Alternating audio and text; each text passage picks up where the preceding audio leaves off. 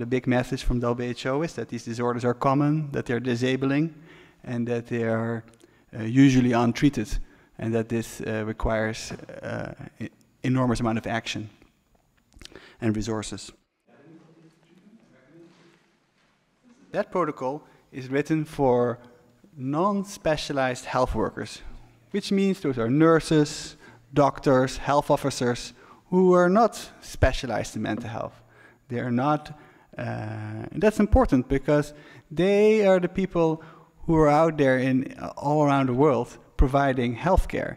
Most countries have very few psychologists and psychiatrists, and if they have them, these are usually in the capital, and there's usually very few of them, and uh, that those there's way too few of them to make mental health care widely available.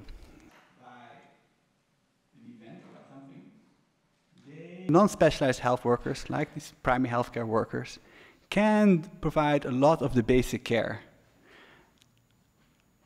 And one of the things they can do after, after trauma is provide uh, something that's called psychological first aid, which involves listening to people, asking for their needs and concerns, strengthening their social supports, and protecting them from further harms. You know, discouraging, discouraging them from making rash decisions in the moment of when something really bad happens.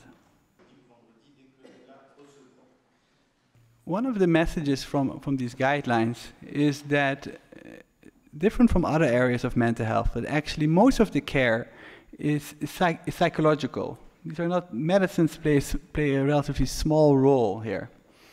And uh, in particular, the very, there's a very popular uh, treatment is benzodiazepines, or anti-anxiety drugs, which doctors all around the world like to give uh, to to people for sleeping better, for anxiety. Well, those are actually unhelpful. So we are making a recommendation against them.